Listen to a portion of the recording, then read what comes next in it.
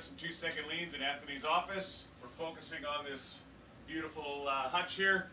When you open her up, seems a little disorganized. We're going to figure out what we need, what we don't need, and see what we can do. So uh, we've taken off the door, as well as uh, cleared off a lot of the clutter up top and what was in the what was in the overhead to begin with. Uh, uh, the hole punch was uh, sitting up top. Now he doesn't have to stand up in order to uh, in order to get it anymore. And uh, the only thing that uh, we've talked about for continuous improvement maybe is to put bookends on there so the binders don't fall down. Um, so yeah, that's about it.